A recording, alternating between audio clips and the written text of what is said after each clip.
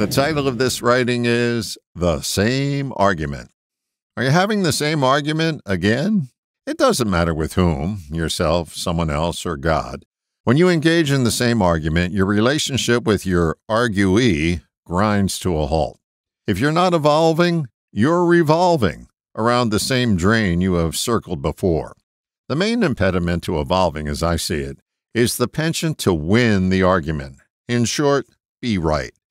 Many margaritas ago, the grasshopper said, Many people would rather be right than happy, and preferring to be right, they are left out.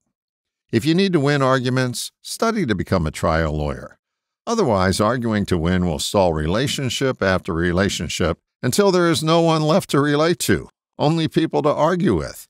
Begin to notice what you argue about. That's the problem that needs solving, not more debate about who's on the side of the angels. To the point, if you're arguing, you're not relating. That doesn't mean you can't have differences of opinion. We all do. It's just arguing about them again and again that will have the same result you got the last time. No end to the argument. The lead character in the Daniel Quinn novel called Ishmael gave us a very quotable quote There is no argument that will end the argument. In order to get back to relating, we have to step out of the argument that keeps that from happening. Stepping out means taking a look at it with a different set of eyes, as though it was someone else's situation that we were observing. What sage advice would we offer to another if it was their argument? My guess is you would request they seek a solution, not give them a lesson on getting the upper hand.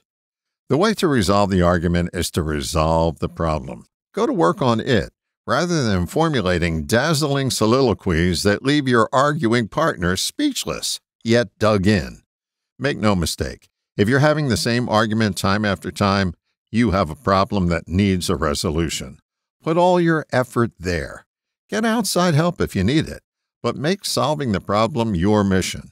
Otherwise, you put your ability to relate and evolve out of commission. All the best, John.